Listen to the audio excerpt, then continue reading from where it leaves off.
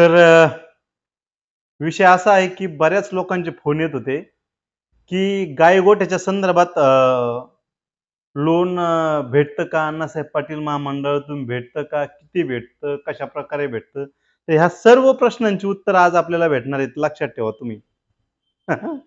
हे विषय असा आहे की गायगोठ्याचं लोन होतं का? तर शंभर टक्के होतं.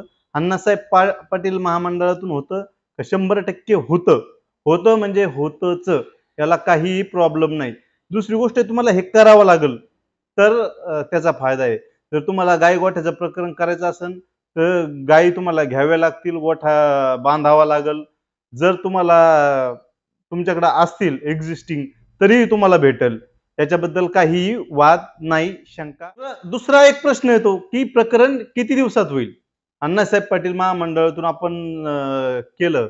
येलो आय काढला बाकीचं सगळं केलं तर बँकेतून किती दिवसात प्रकरण जर बँकेत तुमचे डॉक्युमेंट सगळे ओके असतील तर एक एक एक ते पंधरा दिवस लागतात. सात आठ दिवसात निघतं प्रकरण पण पंधरा दिवस लागतात.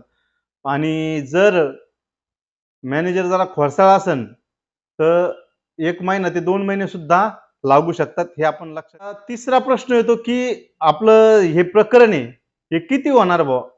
हा मी तुम्हाला देतोय हे कागदपत्र तुमच्याकडे हे सगळं बँकेचं देतोय. पण मला प्रकरण किती होईल किंवा तुम्ही मला कन्सल्ट करताय तर मला सांगा ना प्रकरण किती होईल. तर हे प्रकरण आता सध्या गव्हर्नमेंट बँकेचा रेट चालू आहे. एका गाईला पंच्याऐंशी हजार रुपये. पंच्याऐंशी हजार ते पन्नास लाख रुपयापर्यंत हे प्रकरण होऊ शकतं आणि होतच असा विषय आहे. तुम्हाला फक्त हे जेन्युनली करावा लागेल तर हा विषय आहे. काही लोकांचा प्रश्न आहे की बाजार पावती कधी द्यायची? याच्या प्रकरणासोबत द्यायची कर्ज प्रकरणासोबत की नंतर द्यायची? तर बाजार पावती ही लोन डिस्बर्स झाल्यावरती बँकांना बाजार पावत्या लागतात. तुम्ही गाय घेतल्यात की नाही याच्या संदर्भात? तर तुमच्या लोकल कृषी उत्पन्न बाजार समितीतून तुम्ही त्या पावत्या घेऊ शकता आणि बँकेला देऊ शकता. याच्यामध्ये काय असं वेगळं काय करण्याची गरज त्या ठिकाणी नाहीये. बरोबर? पाचवा प्रश्न आहे की आम्हाला हे प्रकरण करत असताना काय मॉर्गेज करावा लागेल का? तर दहा लाख रुपयापर्यंत मॉर्गेजची काहीही गरज नाही. तसंच तुमचं फाईल स्ट्रॉंग असेल व्यवहार चांगले असतील तर सीजीएमएसटी मधून पन्नास लाख रुपयापर्यंत तुम्हाला बिगर व्याजी बिगर मॉर्गेजचं कर्ज दिलं जातं. आणि अण्णासाहेब पाटील महामंडळातून गट कर्जामध्ये पन्नास लाख रुपयापर्यंत तुम्हाला बिगर व्याजी सुद्धा दिलं जातं. तर याच्या विषयी विषय तुम्ही घ्या. का मॉर्गेज करावा लागत नाही नव्याण्णव टक्के? आणि करावं लागलं तर? काय हरकत बी नाही. काही लोकांचा विषय असा आहे की आमच्या नावावरती सातबारा नाही. तर मग आम्हाला गाय गोठ्यासाठी कर्ज होईल का? तर सातबारा नसला तर तुमच्या आईच्या वडिलांच्या भावाच्या कोणाच्या तरी नावावरती सातबारा असतो आजोबांच्या. तर त्यांचं संमतीपत्र किंवा कन्सेंट घेतलं तरीही हे प्रकरण होऊ शकतं याला काही प्रॉब्लेम येत नाही.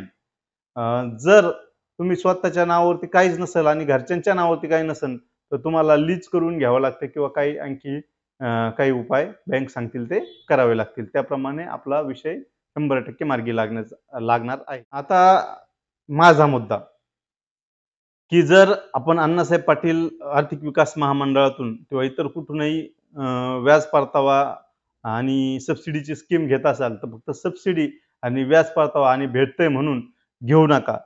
तर व्यवसाय तुम्हाला खरोखर करायचा असेल किंवा तुम्ही खरोखर करत असताल व्यवसाय तरच हे घ्या.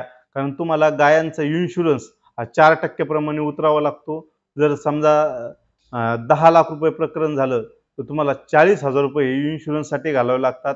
इतरही बऱ्याच गोष्टी आहेत. तुम्हाला गाय गोठ्याचं हे इस्टिमेट असेल तर इस्टिमेट बिल याला तुम्हाला जी एस टी द्यावा लागतो. बऱ्याचशा ठिकाणी असं झालेलं आहे का काही करायचं नाही दाखवायचं नाही. आणि मग तुम्ही अडचणीत येतात चक्रीत फसता आणि व्याजाच्या व्यवहारात कर्जाच्या व्यवहारात अडकत जाता. तर असं न करता तुम्ही तुम्हाला जर जेन्युनली करायचं असेल गायगोठा गाय गोठा हे प्रकरण तरच तुम्ही करा. अदरवाईज करू नका. काही अडचण नाही.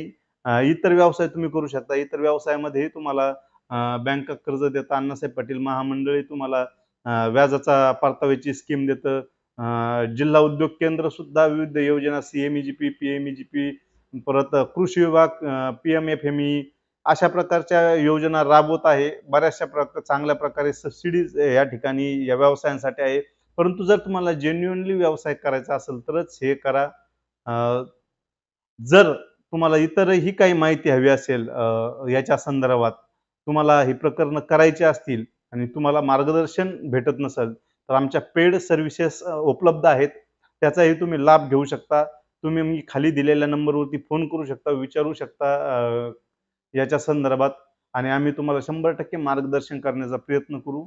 आणि वरील समजा अण्णासाहेब पाटील महामंडळाचा परतावा करण्यासाठी कागदपत्र वगैरे करावी लागतात.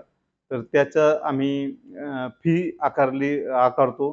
कागदपत्र फाईल प्रोजेक्ट रिपोर्ट बँकेसाठीचे प्रोजेक्ट रिपोर्ट वगैरे सगळं तयार करण्यासाठीची जी नॉमिनल आम्ही फी चार्ज करतो ते आम्ही घेतो.